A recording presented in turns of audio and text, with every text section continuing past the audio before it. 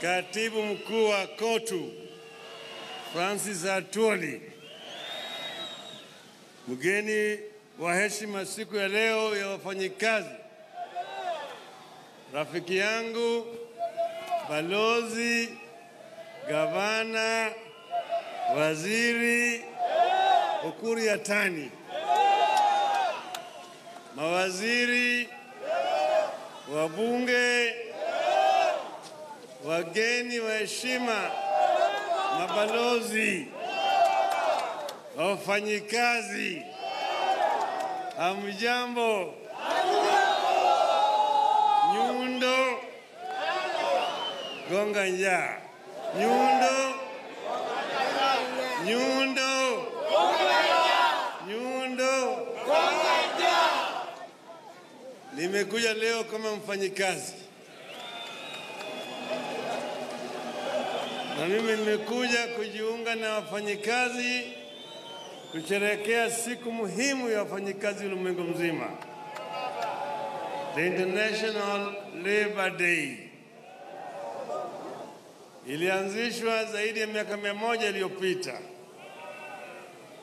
and those days they said that workers needed to unite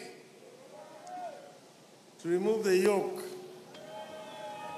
It was Lenin who said that the workers of the world unite.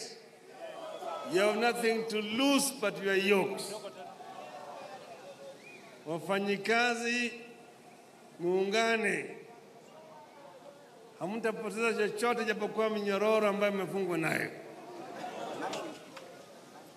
Sasa karibu miaka mia moja, ulimwengu umebadilika, ulimwengu umebadilika, wafanyikazi bado wako. We have a big working force in our country. Our country has got a big population that is youthful. And all of them are looking for jobs. And that's the reason why we in NASA are in agreement with Jubilee in trying to address the issue of job creation, the issue of housing, the issue of universal health care,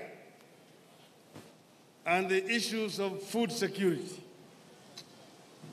Manake tangu tupate uhuru tulisema tuko na maadui matatu: ugonjwa, ujinga na umaskini. Lakini wanne naitwa utawala mbaya ya kidhulumu na kimabavu. Kwa hivyo sisi tunaunga mkono. Nyinyi mnajua leo ni siku ya mara yangu ya kwanza kurudi hapo Uhuru Park. Tulikuwa hapa mara ya mwisho tarehe thelathini ya mwezi Januari. Nilipokuja hapa, nilikuja nikabeba Biblia hapa.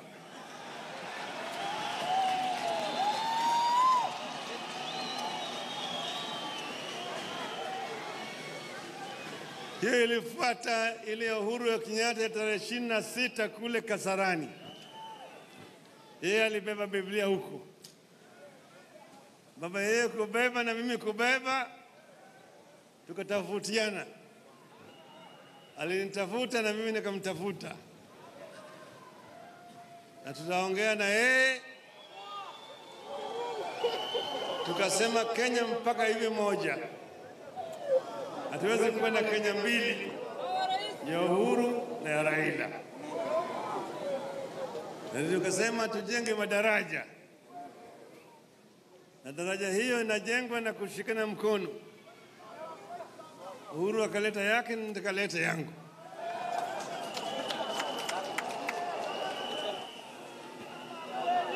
Juzi mliona kilomita maelfu mingi kule Korea viongozi wa Korea kaskazini na kusini walienda mpakani na wakapeana mkono, walifuata nyayo ya Uhuru na Raila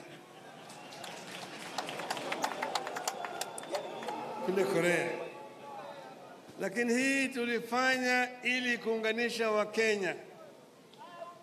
Tunajua shida ambayo watu, watu, watu wetu wako nazo. Tunajua shida ambayo imekumba taifa letu. Tunajua vile watu wetu waliumia. Yale yote sisi tunajua. Nataka kufanya yale ambayo italeta suluhu ya kudumu. Hiyo ndio sababu tulisema tuungane pamoja.